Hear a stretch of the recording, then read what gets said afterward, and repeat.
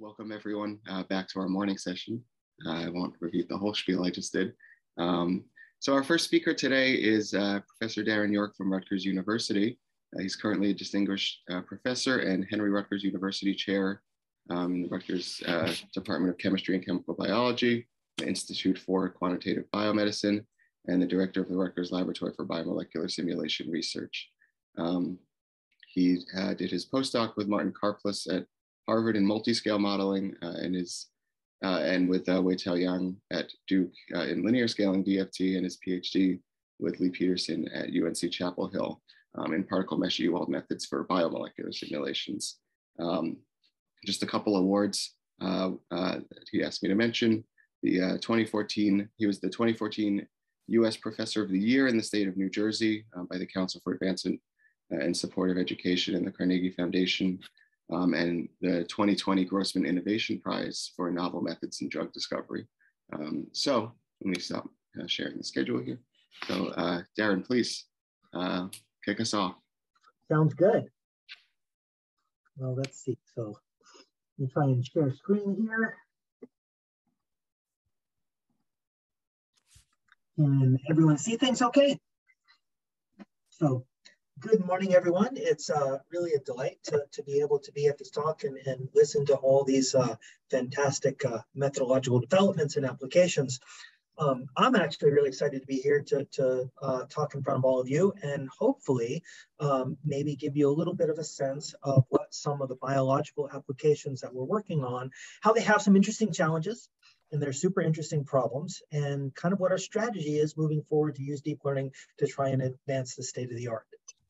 Um, so I wanted to start by just giving, giving you a little preview of, of what a, a small uh, simulation might look like for, for uh, one of the smallest types of RNA enzymes. This is called a hammerhead ribozyme. Typically, they put these systems uh, of, uh, of you know, a couple thousand atoms into a big box of water, about 30, 50,000 atoms. And what we're seeing is, is we're zooming in on what's called the active site of the enzyme. So this is where all the chemistry sort of plays out. So when we end up doing simulations, uh, looking at uh, the enzymatic mechanism for some of these biomolecules, typically we're looking uh, at a region of about this size that we need to treat quantum mechanically. But as important as that is, is to be able to treat the rest of the environment. So I kind of wanted to just give a little bit of a sense of, of, of what that, that scope and scale kind of is, because that might differentiate a little bit of what uh, of what we do than, than what uh, was talked about a little bit yesterday. So to give an idea, a typical uh, RNA enzyme active site. So I'm going to I'm going to talk about applications today uh, to RNA catalysis, how molecules of RNA are able to catalyze chemical reactions. Typically, these active sites uh, contain about 50 to 200 atoms or so. And again, that's where chemistry is going to play out. And so that's where we need a quantum mechanical and or machine learning model. Uh, now, the size of an RNA enzyme itself is typically on the order of 1,500 to 3,000 atoms. When we put these together in a simulation, typically the surrounding solvent is 95% of the system. That ranges from about 30,000 to 60,000 atoms, typically for these systems. Once we establish this sort of spatial scale, then we get into a sampling problem. Uh, so typically a single molecular dynamic simulation to simulate a single state of the system usually is around 10 nanoseconds and using a one femtosecond time step, that's about 10 million time steps. So 10 million evaluations of the energy and forces for one simulation. Now we don't want to actually simulate just one state of the system. Usually what we want to do is map out a free energy surface. And you can think about a free energy surface as kind of being a, a type of map where every sort of pixel on that map has to represent a separate simulation. So typically we're looking at on the order of a thousand or more of these MD simulations.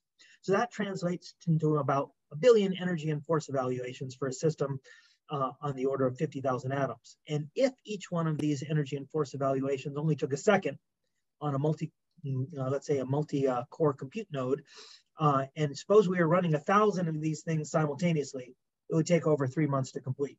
Now we don't have any computational resources that allow us to do that routinely. Although if any of you do, I can give you an email to send me a secret message and we can talk about that. But Typically, we need to get the energy and force evaluations for these 50,000 atom systems a lot faster than even a second uh, on, on a multi-core node. Um, So that's kind of the scale of what we need to do. Now let's talk a little bit about what uh, what means sort of uh, things to be of the accuracy level needed for biological applications.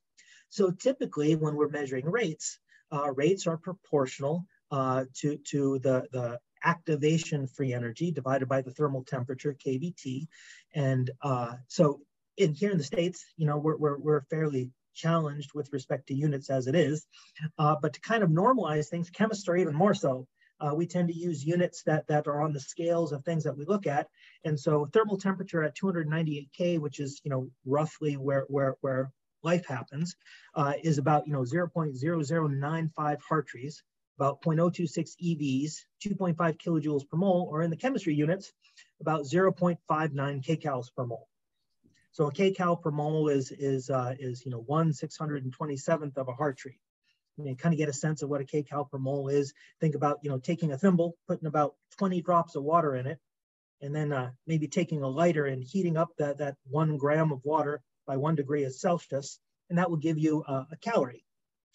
Um, the number of kilocalories per mole required to unfold an entire protein is on the order of 10 or 20.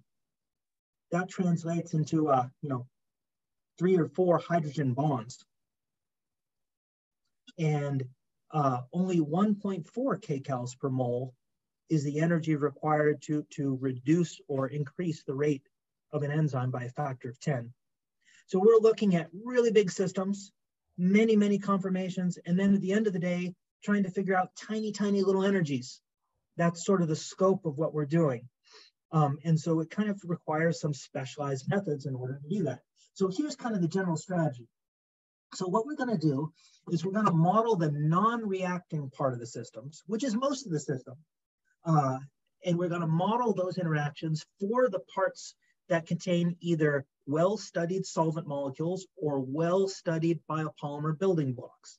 So the proteins, and the nucleic acids, and the water molecules, and the ions, all of that stuff has evolved over 30 years of force field development and as long as those things aren't reacting, those well-defined building blocks can, can be uh, well modeled using highly tuned molecular mechanical force fields. And those are super fast because they're super simple. But they contain empiricism that allows you to get experimental results as long as you don't ask them too much.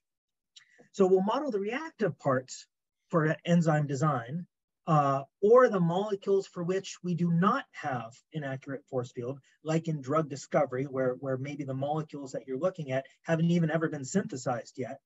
So fast, uh, so accurate force fields don't exist. We're going to model them with quantum mechanical force fields, which I'll describe in a minute, and then kind of correct their accuracy using range corrected deep potentials. Okay, so this method has advantages that the majority of the system is going to be treated by these extremely fast models, whereas only a relatively small part on the order of 50 to 200 atoms are going to be treated with a specialized quantum mechanical force field with deep learning corrections. So, so by design, because we're building uh, a model based on what's going to be a very fast, approximate level of quantum theory, we already have electrostatics built in. We already have changes in charge state and, and spin state uh, taken into account. Uh, also, uh, other types of processes, bond breaking and formation. Uh, but the accuracy is not quite where we need it to be. That's where the deep learning potentials are going to come in. And as was mentioned yesterday, uh, using DeepMD-Kit, there's a lot of advantages for the type of neural networks that are used in terms of being size extensive and symmetry preserving and smooth and differential, so on and so forth, needed for molecular simulations. So now let's talk a little bit about what the heck do I mean by a quantum mechanical force field. In essence, a quantum mechanical force field is a flavor of linear scaling electronic structure theory, uh, where there is some recourse into replacing what are normally orbital-orbital interactions uh, with density functionals. So it becomes, there is a level of empiricism. That's what makes the quantum mechanical method not a pure linear scaling electronic structure method, but one that we, we claim as a force field.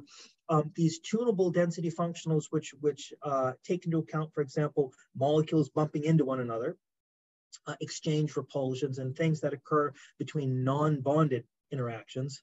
Um, those can be tuned so that the force fields are very, very accurate. Now, what we're going to do, so just to give you a sense, if we compare uh, uh, a, a um, hybrid density functional at a reasonable basis set. The types of approximate quantum mechanical models, semi-empirical flavors of models like density functional tight binding theory or, or uh, um, neglect, neglect of diatomic differential overlap methods are typically on the order of about a thousand times faster. Um, and that's in their sort of uh, generic flavor. When you turn them into quantum mechanical force fields where you fragment the system, which I'm going to explain in a minute, they run anywhere from 10 to 1,000 times faster than that. So they're actually comparable to, to the to computational cost of running a neural network. Maybe a little bit slower, but not much, not more by not more than a factor of, of five or so. So what is a quantum mechanical force field within in the context that I'm describing? So the idea behind a quantum mechanical force field is you're going to fragment the system into, into interacting fragments that are, have only limited connections by covalent bonds. And you're going to replace this generalized eigenvalue problem and, and uh, fairly non-sparse matrix into one that's uh, block diagonal, where you have different block diagonal Hamiltonians that replace the orbital-orbital overlap interactions with density functionals. Um, what you can also do is because the, the, the approximate quantum models that we use have a full single particle density matrix, we can, we can choose to, to express that electrostatic interaction uh, in a way that's different when we, when we communicate electrostatics to other molecules than what we do internally. So here's an example of, of what the electrostatic potential difference map looks like between a third order density functional tight binding method and, uh, and uh, an ab initio density functional. And uh, basically the red and uh, blue colors represent large differences in the electrostatic potential. And anywhere that you see green means the difference is very close to zero. So green is good, red and blue are bad. Here's what happens when we do the, the, the multipole remapping of the single particle density matrix in order to best reproduce an ab initio uh, uh, electrostatic potential. So the top row actually shows sort of the same calculation uh, using density functional tight binding theory, but within a quantum mechanical force field framework. So we get better electrostatics out of it, uh, which is going to be important. Um, also, uh, just, to, just to get back to, to some electrostatics, um, here's an example of chlorobenzene, just to give a little bit uh, of an example of how electrostatics oftentimes cannot be modeled very well by, by representing uh, electrostatics as point charges or point uh, monopoles that live on top of atom centers. To give you a sense, density functional tight binding theory uses this type of monopolar model. So, so chlorobenzene has a couple things. If we look at the bottom left, this is a, a, an isocontour of electrostatic potential that illustrates uh, some of the electrostatic potential above and below the ring that are due to, to uh, pi bonds. And also around the chlorine, there's something called a sigma hole, which is, which is related to, to the, the halogen lone pairs that are difficult to model with, with atom-centered point charges. In fact, if you go to point monopoles, uh, or point quadrupoles, they both give kind of lousy uh, uh, isocontours electrostatic potential. You actually need to have Gaussian quadrupoles in order to effectively um, mimic this type of electrostatic potential signature. So electrostatics are important and it's very important for, for not only catalysis, but drug discovery. Um, I'm just going to mention in passing that, uh, that long range electrostatics needs to be treated carefully when you start to mix these ab initio or, or semi-empirical quantum models with molecular mechanical models. And there's a method called the ambient potential composite Ewald method, which is a linear scaling method that can be used for this type of calculation. And it's a, it's a technical detail that, that doesn't really affect the, the overall context of this talk, but I'm gonna mention it because it is an important uh, um, development to have stable um, types of, of electrostatic interactions. But I won't dwell on that. I will move on and, and basically say our, our first generation quantum mechanical force fields, we were able to train with respect to condensed phase properties, uh, where we looked at, at things like water uh, and we're able to get bulk properties as well as, as sort of cluster properties at the same time. Now, um, because this is sort of, so this is a, a regression that, that kind of shows that, uh, that we can also get clusters uh, where, where traditional molecular mechanical models cannot, um, in addition to bulk properties. But this is an example with water. There's tons known about water, and we can cheat a lot by training parameters to be able to match experimental results. In the, in the examples that I'm going to talk about next, catalysis uh, and drug discovery, we don't have that option. And so we need to take a, a little bit of a different tact. Um, I also kind of wanted to give you a sense of uh, kind of the, the speed of the quantum mechanical force fields. Let me see if I can start this again. Um, this is an example of a self-consistent field procedure uh, using a density functional tight binding model on a small protein system. So this is sped up by a factor of 60, and every time you see a color change is one step of the SCF cycle. So basically one second is a, is a minute, and each one of these is an iteration, and this is about a 2000 atom system or so. So this is what happens when we treat the entire protein using density functional tight binding theory. A self-consistent field calculation takes about eight minutes. If we were to do the same thing using our quantum mechanical force field, again, for a whole 2000 atom system, which normally we won't do. Normally we only treat 50 to 200 atoms, but just to give you a timing result, this is what it looks like. It takes about half a second, and that's in real time. So this is, you know, this is a factor of, you know, approximately 600 speed up with respect to, to uh, the, the non-quantum mechanical force field version of this. So we have a very fast quantum model, but it's approximate. And so, so now uh, I'm going to pause for a second and tell you a little bit about a biological problem that motivated the design of one of our first generation machine learning models. Um, so before I show you the training of that model, I want to give you a little bit of an appreciation of the actual reaction that's occurring. It's a reaction that's catalyzed by RNA, which sort of was the subject of two Nobel Prizes uh, in 1989 and 2009, and also is the subject of a lot of new uh, pharmaceutical companies, including new startup companies that look towards uh, um, actually targeting uh, RNAs as, as uh, therapeutic targets. Um, to remind folks about the biology, uh, RNA molecules are built up from four fundamental building blocks that are essentially non-reactive. So it's a fundamental chemical question about how these inherently kind of inert and limited building blocks can assemble into three-dimensional structures that can all of a sudden accelerate the rate of important chemical reactions by over 10 million fold. Um, so here's the reaction that we're going to look at. In short, this is a reaction that simply involves the cleavage of an RNA backbone. Okay, so it's a, reaction where a big molecule of RNA gets cleaved or ligated is the reverse process. So this is very important, uh, not only in transcription uh, and translation, but also in, in uh, gene expression uh, and in different types of cell signaling. So it's a super important ubiquitous reaction in, in biology.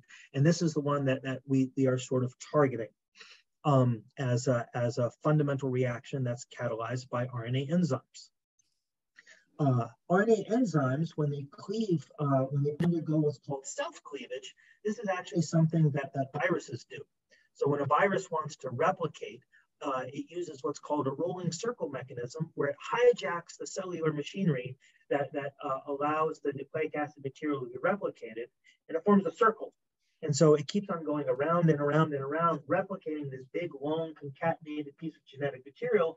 And then what it does is it programs in uh, sort of a self-cleaving pair of scissors that when uh, a certain sequence of RNA gets synthesized, it will cleave it, it'll auto-cleave itself so that each one of these viral genomes can go and be packaged up and, and the, the virus can undergo a very efficient lytic cycle. Um, here's an example of an RNA enzyme that we studied called the twister ribozyme, uh, where we conducted a, a, quantum mechanical investigation that, that was uh, uh, published about a year ago. But just to give you an idea of what this uh, reaction actually looks like in an RNA system. So we're going to have a, a, a nucleophile that's over here that's going to get lined up to make an inline attack to this phosphorus. And then uh, first it's going to be activated by what's called a general base. So a proton gets plucked off, and then this activated nucleophile attacks this phosphorus, and then the leaving group ends up leaving, and now all of a sudden we have a cleaved piece of RNA. So that's the reaction.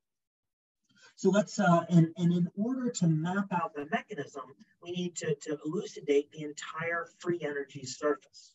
So we need to map out the, the, the reaction-free energy as a function of the intrinsic uh, reaction variables, which might, for example, be a progress variable associated with the general base that deprotonates the proton, progress variable associated with the actual phosphoryl transfer reaction, and if there's an acid involved, a progress variable that involves the, the general acid donation of a proton. Um, so this requires a whole set of simulations to explore different parts of that map. Okay. All right. So now let's get into deep learning. So, so the idea is at the ab initio level, we just can't afford in any way, shape, or form to do the uh, amount of sampling required using an ab initio density functional model. Um, at least, so, so uh, what I mean by that is we can't actually solve the equations of motion where we have to take little tiny one femtosecond time steps and then do that 10 million times and then a thousand times over.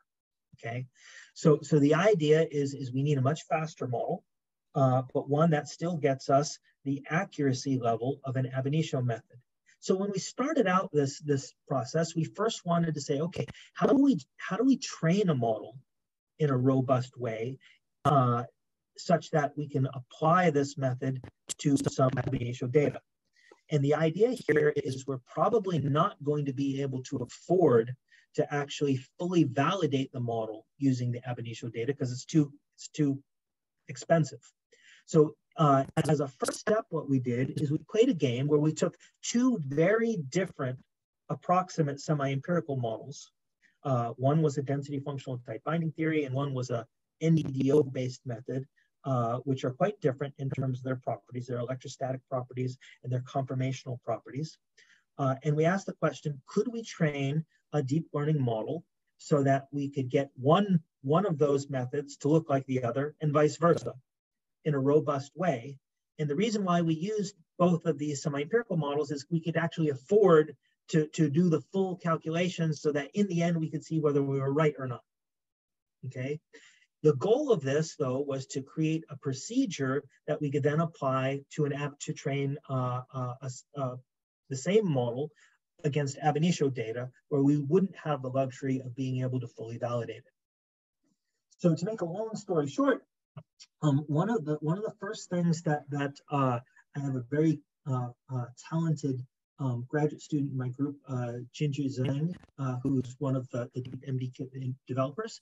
And, uh, and we developed uh, a range correction, which enabled not only the, the, the QM-QM interaction within the active site uh, to have a deep learning potential correction, but also the, the interaction of that QM region with the molecular mechanical atoms uh, would be a different neural network that would smoothly go to zero within what we call a non-bonded cutoff. And so, so uh, non-bonded cutoffs are used in molecular dynamics programs in order to evaluate non-bonded interactions. Electrostatics are treated a little bit differently, but part of the electrostatics are, are contained in the non-bonded cutoff.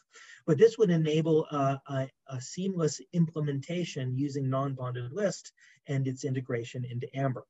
So we integrated all this into AMBER uh, including the range correction, the range correction, and we uh, explored its use um, uh, in terms of training the model. I might mention this wasn't the first thing that we tried. In fact, the first thing that we tried was without a range correction, and we couldn't get good results. The reason why we couldn't get good results is because the electrostatic interactions between these two models that we were trying to train were actually quite different.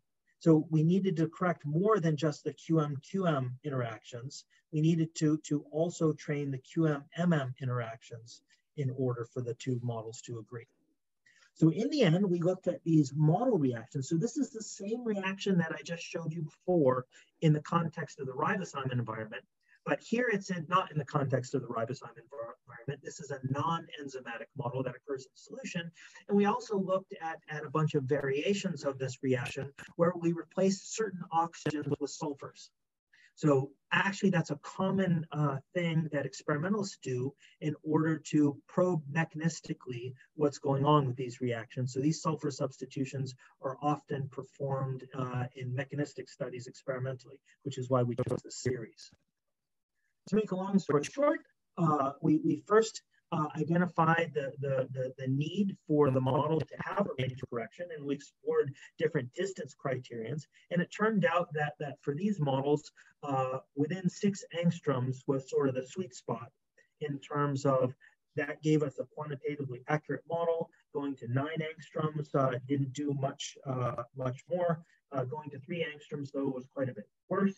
And so we, we chose a six angstrom cutoff uh, for our, our range, deep learning range correction. And what this shows, these are free energy profiles. So, so uh, we trained these models with respect to energies and forces. There were no free energies explicitly in the training. And yet what I'm showing you here are free energy surfaces, one-dimensional free energy curves, uh, corresponding to the reactions of all six of these different models. Um, so what you end up seeing is the thing to kind of uh, look at here. We're comparing active learning with no active learning. So we talked, we heard a little bit about what active learning means uh, uh, uh yesterday.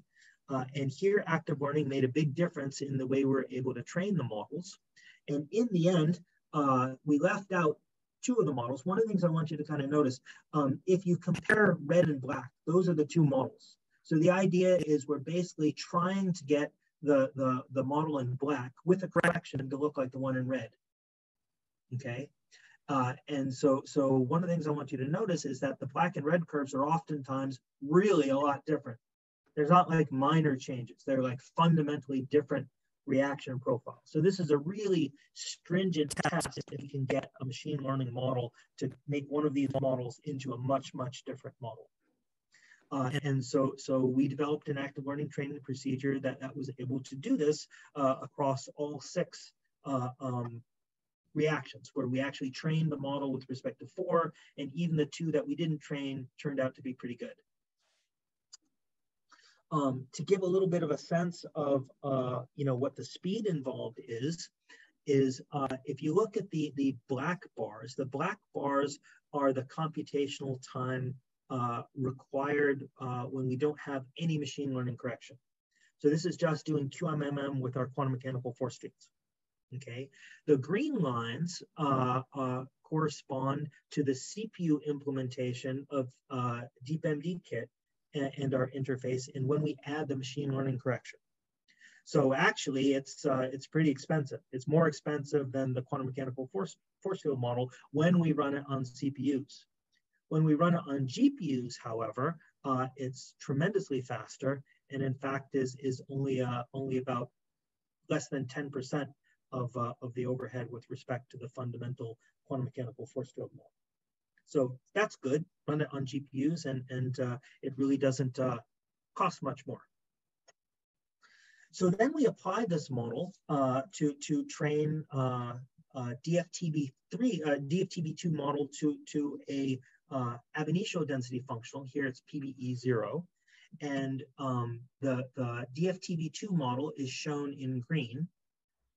And the PBE zero model is shown in black. And after we apply this procedure to training it, uh, the, the, the DFTB2 plus DPRC, which is shown in red, is, is very, very close uh, to the free energy profiles corresponding to each one of those reactions. Um, and the computational cost uh, represents a factor of about 200 times speed up with respect to PBE zero calculations. Um, uh, and well, 200x speed up where the PBE zero calculations actually required more cores than, uh, than uh, the, the model. So um, we get good performance and good accuracy. And another thing we, I wanted to mention, just in terms of application, Oftentimes, when you look at enzymatic reactions, uh, one of the experimental probes that are used to characterize the structure and bonding of the transition state is to measure so-called kinetic isotope effects. So kinetic isotope effects uh, are nuclear quantum effects that we can actually compute using uh, uh ring polymer path integral molecular dynamics. So we created an additional interface between Deep MD-Kit, Amber, and uh, the i-PI software, uh, which allowed us to have access to, to, interesting methods like the PIGLET thermostat, which requires a minimum number of, uh, of uh, uh, beads associated with the ring polymers, and we're able to compute um, kinetic isotope effects in order to, to aid in the interpretation of experimental measurements. So we have experimental collaborators that actually measure kinetic isotope effects for some of our systems, and now we're able to, to uh, help interpret them in terms of structure and bonding of the transition state. Um, okay, so that kind of concludes uh, what, what uh, I wanted to talk about with respect to, to the enzyme catalysis. I just want to show one more slide, two more slides, that uh, are some preliminary results that Jinsy has given me uh, with respect to the development of our drug discovery model. So I'm not going to get into details about uh, um, how we actually perform drug discovery calculations, so I'm going to skip over that. Um, this is uh, called a bookending approach, and I'm not going to talk about it. What I will talk about is that Jinzhe uh, extended the uh, implementation of the training procedure such that the loss function uh, that was being trained could also take into account relative energies, uh, which are important in order to establish context for things like um, different uh, protonation states, different tautomer equilibrium, and things of that nature, where these molecules, it's not just relative energy subtracting two things, you actually have to do geometry optimizations of each state at each point. So every time you come up with a new neural network, you have to go through these things, geometry optimize, takes differences in energy, and have that enter the loss function. And so here I just want to show a preliminary result. This is my last slide, I promise, uh, where, where um, I want you to take a look at, uh, you know, what's one of the most popular pure uh, machine learning models out there right now for drug discovery. It's called the ANI-2x model. That's in orange. Uh, and I'm going to compare that to, to a couple of other models, DFTB3, which is density functional tight binding theory, uh, uh, another neural network trained uh, model with dispersion called GFN1-xTB uh, by Stefan Grimme, uh, and, and our new sort of um, DPRC model, which is based on, on DFTB3 plus a machine learning model. So the first thing that you see is, is the pure machine learning model, the ANI-2x. It doesn't know anything about, that's all it knows about is, is the identity of elements and their positions.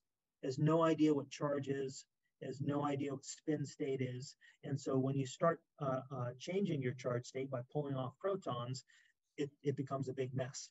And so that's what these outlier points are, are, are, shown here. It really can't handle those situations at all. And it turns out the other models don't do very well either. Um, so if you look at, uh, at, at, this, the, these look like they're kind of along the lines of, uh, of uh, th this line, but they're, they're many kcals per mole off, which uh, uh, I hope I convinced you, you know, even being one kcal per mole off is not a good thing. And so uh, we're actually able to get quantitative accuracy. We have mean absolute errors, you know, on the order of 0.1 kcal per mole for, for these tautomers and for these relative protonation energies, uh, where the next best model is 4 kcals per mole. So we're really encouraged by this. We need to test it more. We need to have a lot of stuff to do, but I wanted to give kind of a shout out, shout out to, to some of uh, Jinzhe's work and, uh, and, and keep you all posted that I think we're going to have some exciting advances with this model moving forward.